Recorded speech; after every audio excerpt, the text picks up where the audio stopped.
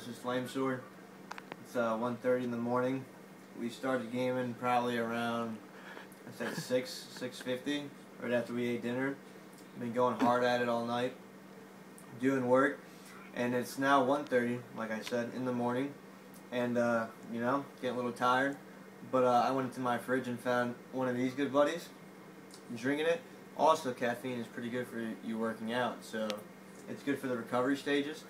So, perfect late night drink with the perfect combination of uh, some Blue Diamond almonds, all natural. Gonna be gaming all night. Later, kids.